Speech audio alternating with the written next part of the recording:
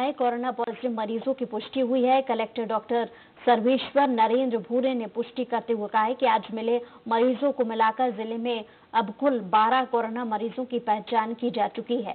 सभी दूसरे प्रदेशों से वापस लौटे थे, जिन्हें संबंधित गाँव में शासकीय भवनों में क्वारंटीन में रखा गया था।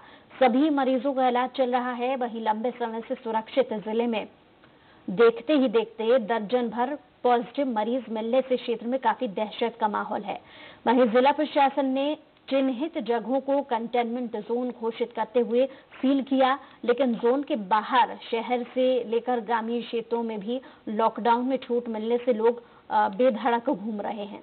भीड़ भाड़ की स्थिति निर्मित हो रही है, इसलिए प्रशासन से सख्ती की मांग की जा रही है।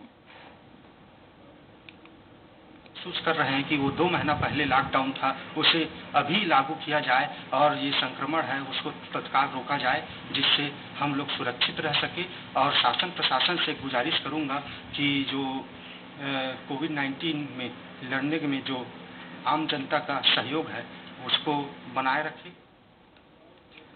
भारत